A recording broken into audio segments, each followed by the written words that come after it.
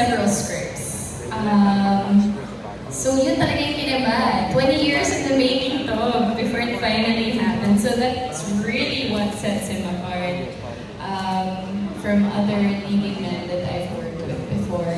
Kaya siguro iba din yung dynamics then because we worked together 20 years ago so medyo mas comfortable din on screen. So yan, yun yung para sa akin.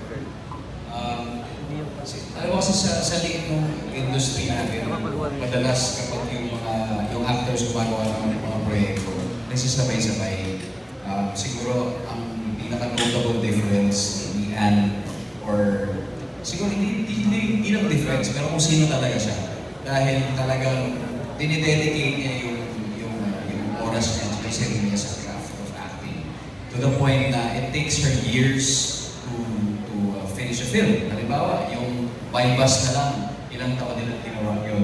And siniguro muna niya na hindi mag-overlap yung city time sa by bus. Bakit? And, Siyempre, ayaw naman niya is- i-short change yung isa or ayaw naman niya um, hindi dumating doon na fully prepared para sa isang character. Kasi mahirap talaga yun. Isipin mo, mag-immerse ka o maging isang PDEA agent na napupuyat ka dahil ang mga eksena mo parang madaling araw. Tapos meron kang shooting na si Aya na isang uh, coffee um, coffee shop uh, doon, barista, di ba? So, talagang yung dedication niya sa when, when you see it uh, in how she makes her films is really something different at kahanga yun.